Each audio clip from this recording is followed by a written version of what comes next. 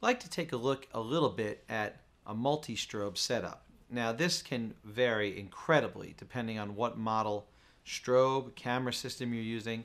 So we'll talk a little bit just about the theory behind it. We've got a master flash and then one set up as a slave. If I look at these both of these together, I can see this one here says it's the master and this one here is saying it's the slave. And it also says that it's the slave in group B. It also tells me that it's firing on channel 1. So those are things that I'll want to pay attention to for later on.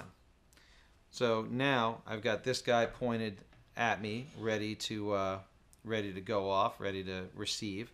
And in the menu, what I'll want to do in my camera, and again, we'll show you this on the Canon, but we'll try to keep it generic so that no matter what one you're, you're going to use, you can find it. In general, I'll go from automatic flash to manual or multi. You'll see that depending on the camera model you have. So mine says ETTL. If you have Nikon, it might not say that. If you have Sony, it'll say something different. But in general, I'm going to do multi-flash. So it's asking me how it wants to translate the signal. I'm using optical, it has to be line of sight. I don't have an RF flash hooked up. And then I've got a few other things. I see this A and B group.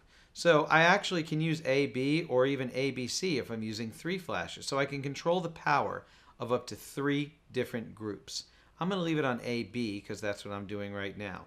And that's a lot of camera manufacturers are sticking with two groups. So I've got the power of A to be 1 8th power and then the power of B to be 1 64th. Now, I don't need the master flash to fire either, and that's something else that is fairly universal. Most cameras will allow you to do this. You can actually go in here and disable the master flash from firing. So the only thing this flash is doing is telling the other one to fire.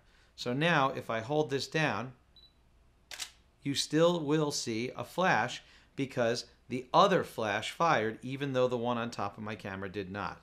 Some cameras even have a built-in transmitter now that you don't need to have a flash on the top in order to make it work. You can actually just signal other flashes to work. And they also make things that attach to the top of your camera, flash transmitters, that will only transmit and they're not flashes themselves. So if you want to trigger other flashes, you can do that. So it's a great way to get the flash off your camera. So there's lots of cool things you can do with this. We can set this up anywhere as backlight, as a secondary light, as the fill light, as the hair light, whatever we want it to do. And we use this one as a master and this one as a slave. And then in the camera, we can actually adjust what, the ratio of power is going to be for each one. Now, some of them you'll adjust it on the flash itself, and some of them you'll adjust it in the camera. But those are the general things that you'll want to look out for when you're starting to set up your multi-strobe setup.